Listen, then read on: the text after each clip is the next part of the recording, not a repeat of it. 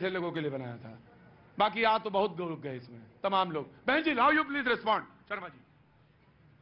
सबसे पहले मैं ये कहना चाहती हूँ कि पार्टी का टिकट हर व्यक्ति को मिले ये ज़रूरी नहीं है। बिल्कुल और पार्टी के द्वारा लिया गया निर्णय सर्वोपरि होता है उसमें मैं ज़्यादा टिप्पणी नहीं करूँगी। संगठन का निर्णय सर्वोपरि रूठे हैं मना लीजिए। ये संगठन का दायित्व है मेरा दायित्व नहीं है। जाएँगे नहीं संगठन ने अपना काम किया होगा और ज़रूर किया होगा मैं पूरे विश्वास के मतलब मान जाएँगे?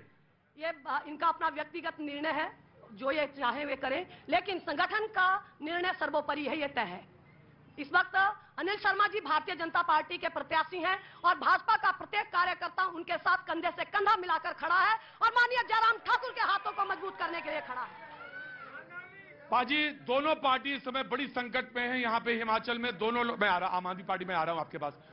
दोनों के लिए बागी जो लोग हैं, जो टिकट चुनाव लड़ रहे हैं, बड़ी मुश्किल बनी हुई है बाबूजी। विश्व की सबसे बड़ी पार्टी जो दम्भ भरती है, आज अपने कार्यकर्ता का निरादर कर रही है। महिलाओं का निरादर कर रही है। और वह व्यक्ति जो चार वर्षों तक मुख्यमंत्री जी को, प्रधानमंत्री जी को कोसते रहे, कहते रहे कि मंडी में कुछ नहीं हुआ।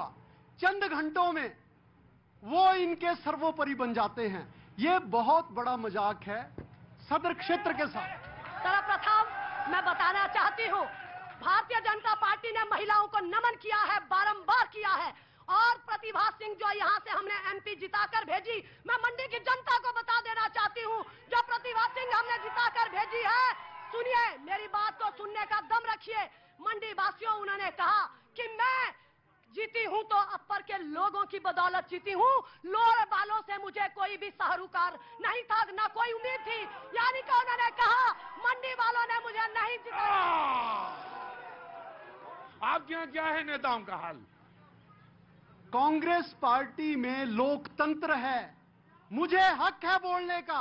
मेरे नेता गलत करते हैं मैं यहाँ से बोलता हूँ इनकी तरह नहीं झोला उठाता हूँ। भ्रष्टाचारियों का। अच्छा। अच्छा तो सिंधिया जी क्या हैं? सिंधिया जी सिंधिया जी। जिन व्यक्तियों को गांधी परिवार ने 30 वर्षों तक शासन नहीं किया। गोदी मीडिया ने कहा कि वो सत्ता में है। नरसिम्हा राव जी के समय से भारत वर्ष में गांधी परिवार का कोई व्यक्ति प्रधानमंत्री नहीं बना।